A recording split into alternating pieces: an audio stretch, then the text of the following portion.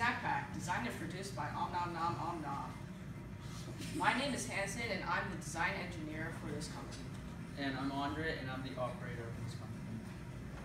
The Snack Pack addresses the problem of food portability and convenience. While on long hikes or short camping trips, or any place where bringing food is just a hassle, its size of 11 by 14 by 6 inches will be plenty of storage for your snack pack is fabricated out of highly durable Kevlar, reinforced with plastics, where there is more wear on our product. Plexiglass panels located installed inside of the product, so the user can determine how much food or water they have in the snack pack by glancing to the side, without having to open it.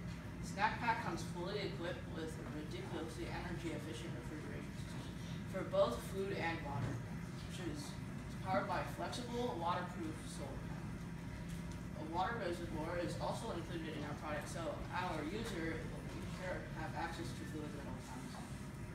Well, our competitors. Uh, really, we don't have any competitors. Snack Pack is uh, really comp- not compared to a regular backpack that requires extra accessories that has to be bought and has to be uh, uh, has to added to the backpack.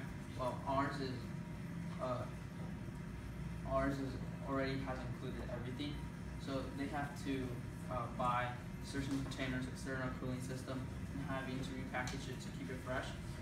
Unlike us, which we have already a reservoir which keeps everyone uh, uh, refreshed, and you can have it wherever you.